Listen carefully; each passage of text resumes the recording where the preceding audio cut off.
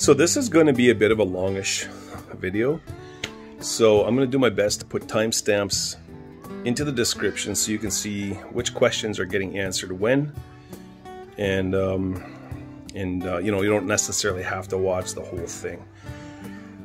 But if you are going to um, skip some of it, then I'm gonna I'm gonna put a timestamp in there for my last point and I'd, I'd like you all to watch that. It's important to me, and I think it'll be important to you as well.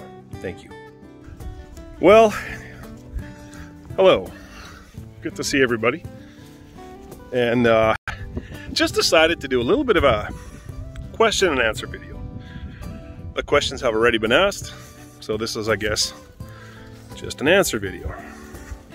So while I'm walking the dogs, you might hear me huffing and puffing a bit because they're pulling hard. but while I'm walking the dogs, I'm just going to talk through um, a few things. Been getting a lot of questions, um, a lot of questions about puppies lately. Questions about shipping and you know a lot of the usual questions. So, and a lot of new interest, and we're very grateful for that. A lot of it's coming from referrals. So, to those of you that have been giving us such excellent references, thank you. Thank you so much.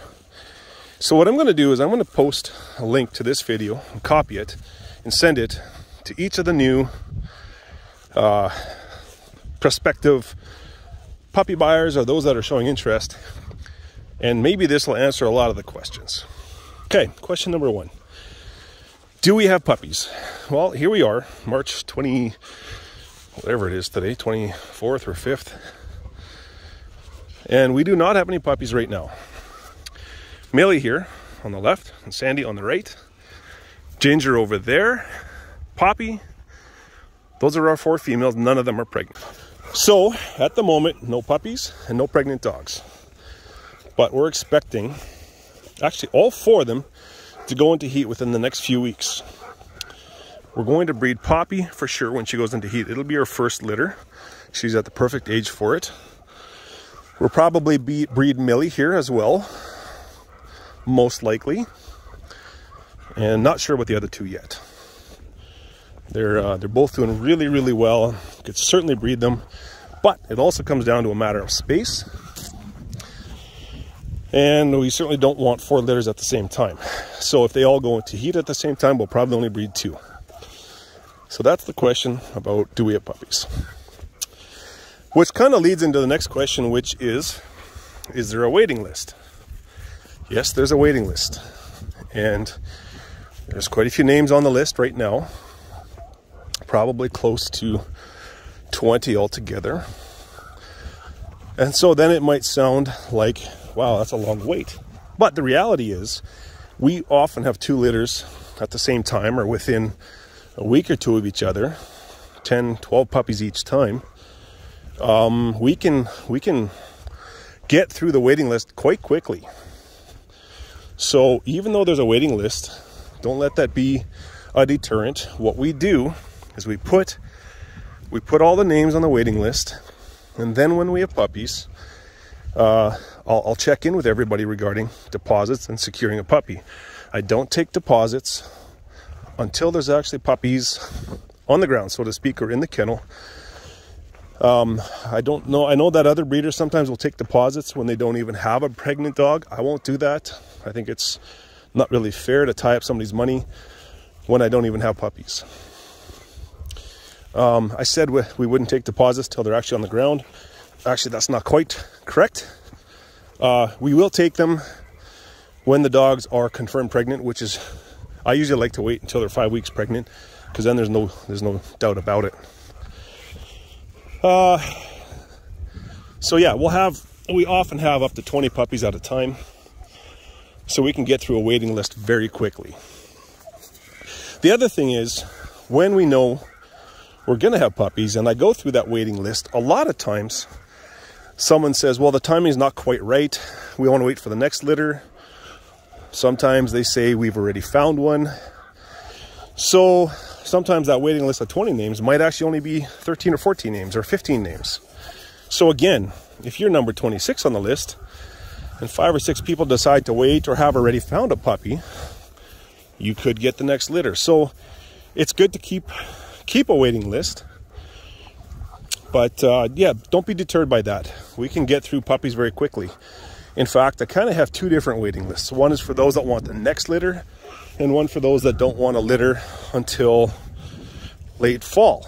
So there's a few different ways we can do that. Okay, next question. Um, how do they travel? Well, we typically use WestJet, and uh, that's been working very well for us. In fact, that's about all we use. We use WestJet for all of our puppies. They're the only ones that fly everywhere we need to go in Canada. Air Canada is currently not flying any pets to the East Coast, so that really only leaves WestJet. WestJet um, sells cargo space to some other companies, but in the end, it's still a WestJet plane that they're going on. So the puppies come on WestJet, and we can ship two puppies in a crate at one time. Two puppies in a crate at once, which means when two owners go to pick up their puppies, one of them will get to keep the crate, the other won't. We don't charge for the crate, so it's kind of just a bonus. And we typically give the crate to the owner who booked their puppy first, just so you know.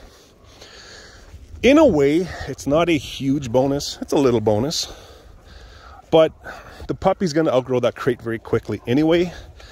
So even the owner that gets the crate is still going to have to get a larger crate a few months down the road. Just buys them a bit of time. That's all. Okay, next question. Do the puppies come with a vet check? Yes, they certainly do. Every puppy goes to our vet. They get checked for health. They get their first round of shots. They get their first round of deworming. And um, I'm not sure what happened there. My video cut out for a second. So, yes, they come with uh, vaccinations, deworming, and their health check. Next question Are the puppies CKC registered? No, they're not. We are raising unregistered purebreds. Their pedigree is every bit as good. They all come from registered stock. We have very specific reasons for not raising, raising registered dogs. And I'm happy to have that conversation with anybody that wants to know. They're not registered, and we have not kept up the paperwork so they cannot be registered. Hopefully, that answers that question. Another question that comes up is where are we? We are in Manitoba. If you want to Google map it, we're very close to Portage la Prairie, Manitoba. We are in the middle of Manitoba and only about, uh, oh, maybe an hour west of the geographical center of Canada. Gives you a pretty good idea where we are. Where I'm walking right now is our property. I'm staying on the road at the moment because there's so much snow, but we own this 80 acres and it goes way out in that direction, half a mile. This is where we live. I gotta keep pausing the video. Come on, Ginger! The dogs want to get off and wander. Come on, Ginger! Good girl. Come on, Ginger, come. Come on. I think she thinks she's in trouble. It's, it's spring and uh, they feel it in the air and it's hard to keep them together. And normally I would have Ginger on a leash because she does tend to run off. These two are the worst for running off. They're also the worst for pulling. I didn't think I could handle a third puller with one hand while I make a video. What was the question we were working on? What was it? Ah, yes, unregistered purebreds. Come on, Morty what's the next question? Oh yeah, so here we are. This is where we live, and uh, we we have seven full-time dogs. I call them seven full times, and the puppies are, are the part timers. Come on, Poppy. Come, Poppy. We are not getting any more dogs. This is it. We're set up very nicely for what we have. The little black one there, she lives inside the house with us. Poppy the poodle lives inside when she's clean.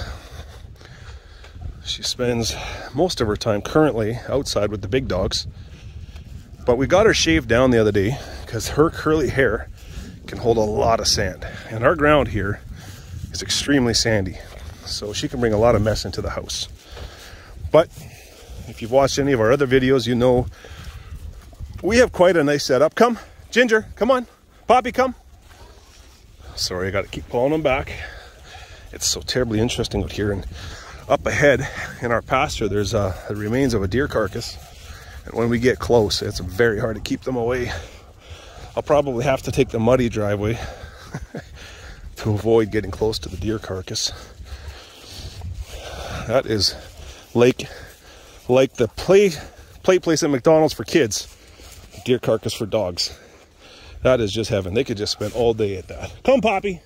Come on, Poppy. I think she's looking for squirrels. They're out in force right now. Come on, Poppy. Good girl.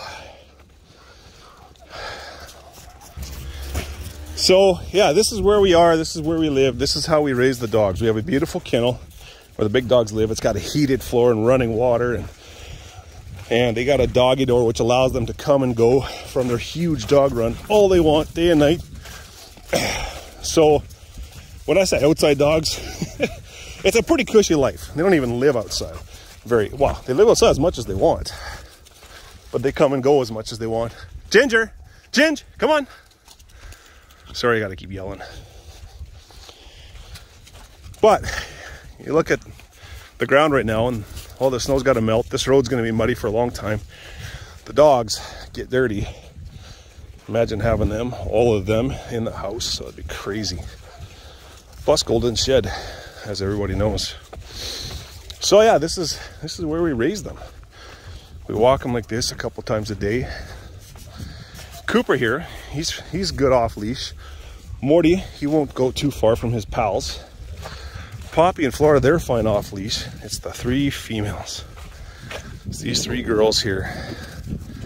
They're bad for running off. Other than otherwise, I'd let them free. I'd love to. I'd love to have them roam, but just can't do that. Certainly wouldn't work in town.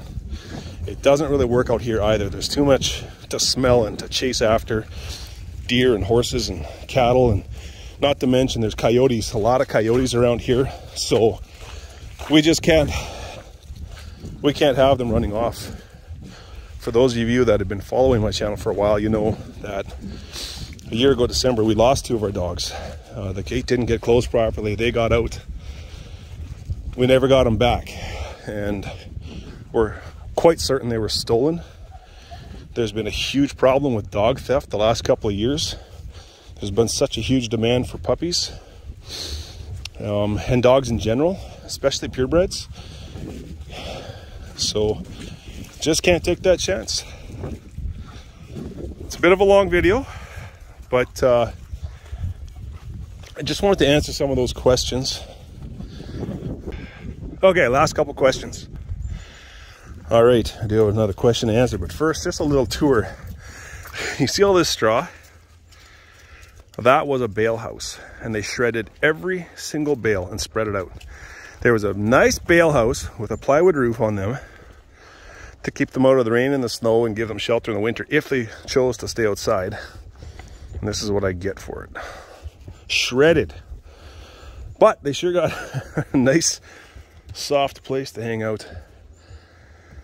But when the bales are stacked up, come summertime, we can take them take them out and burn them because they're relatively dry. Now the whole thing's a wet mat. Not exactly sure what we'll do this year, but we'll deal with it when the time comes. Here's their dog run. It's large, it's about 5,000 square feet. Two separate runs here with their own gates and their own pens. Sorry about all the poop, we clean it up in spring. But each of these pens has their own doggy door and leads to the inside. So now we'll head inside and uh, just just a quick look here. probably most of you have, well, some of you, many of you, have already seen the inside. Sometimes they're poorly behaved because they want attention. But uh, right now our whelping pens are empty. They each have their own doggy door. We closed this one off because there was puppies in here. We didn't want them going outside. This one's still open. So, yeah, it feels a little lonely and empty without any puppies in here, but it's only been a couple weeks and we'll get more here very soon. All right, I'm going to answer one more question, and there may be many more, and if you have any, feel free to leave me a question in the comments. If you have my contact information, feel free to text me, email me, however you want to reach out. I'll, I'll be happy to answer more questions. Last question is, you know, how do we know you're legit? Which is another way of saying, do you have any good references or how do we know we can trust you? Well, uh, fair question, very fair question. And let's be honest, there's a lot of scammers out there. And I, I have to admit, I, I end up talking to a lot of people looking for puppies that have already been scammed or someone's attempted to scam them. So what we started to do, I don't know, a few years ago, is we started to do exactly this. We started making our own YouTube videos. First, what we did was we we would just kind of update people on the puppies that they had reserved and they could watch them grow up in our kennel and sort of um, yeah just watch them grow up until the day they actually ship. And I continue making videos and posting right up until the moment I drop them off at the airport. So the last video you see, um, the last video that you see of your puppy is just hours before it shows up and you've got them in your arms. But um, yeah, so we started making the YouTube videos, videos and started building this YouTube channel to kind of bridge the gap between the distance.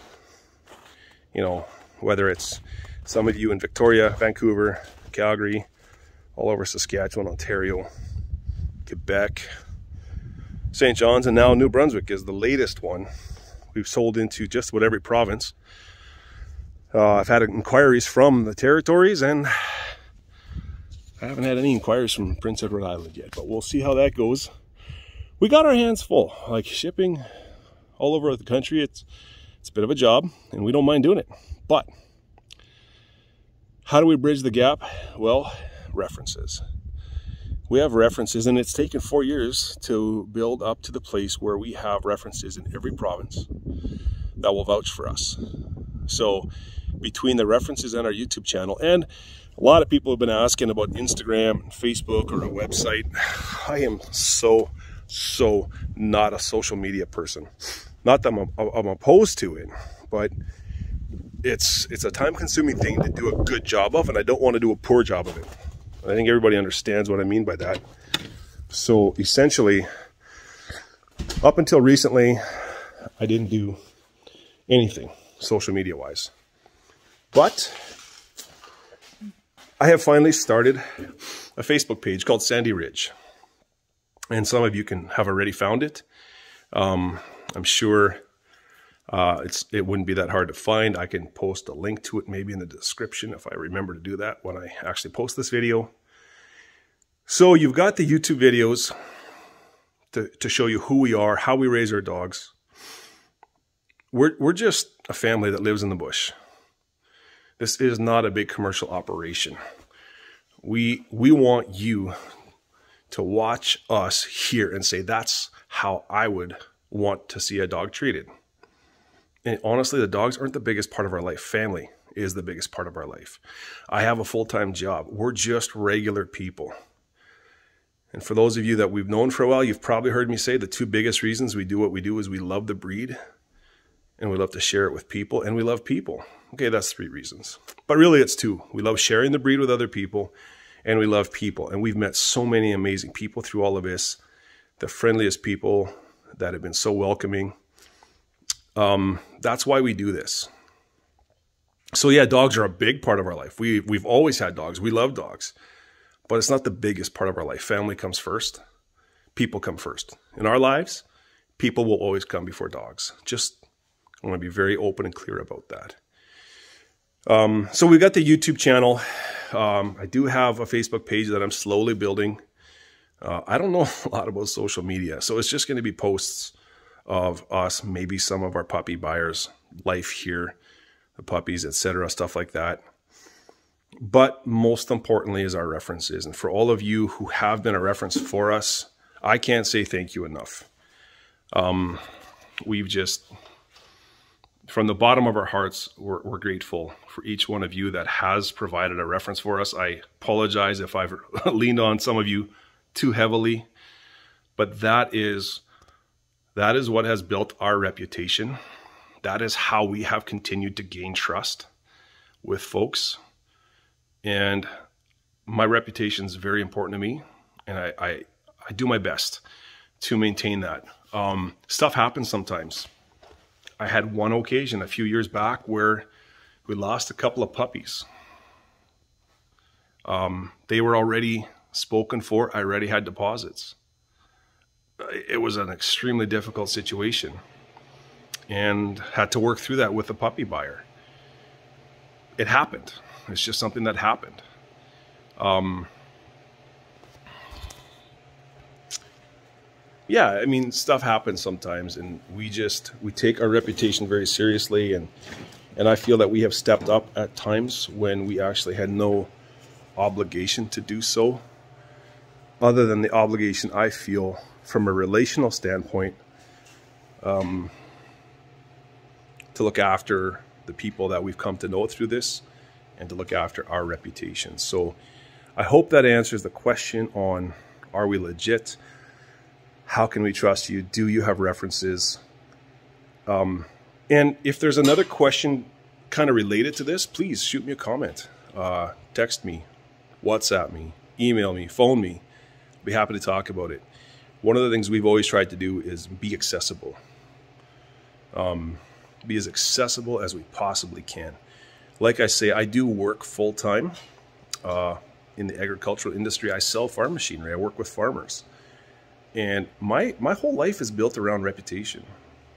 You know, when I work with these farmers, some of the deals are half a million to a million dollars. I just did a deal yesterday for $460,000. The only reason I say that is because the numbers are really, really big. Reputation from sales to support to service is absolutely critical in this industry. And I try to bring that to my puppy business as well as much as possible. The only references I've ever used in the puppy business or operation are puppy related references, but I got another 200 on the agricultural side of things that I built a relationship with over the last 10 years.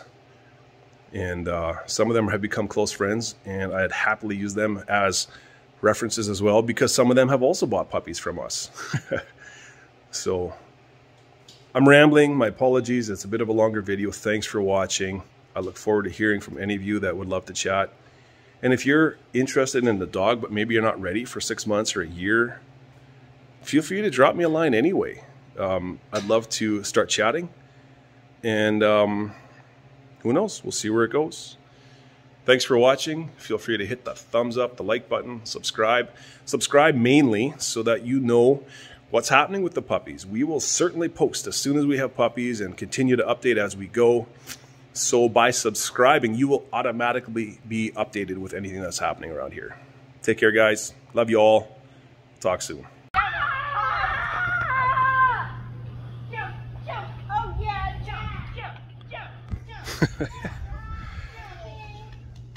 Can't wait for spring.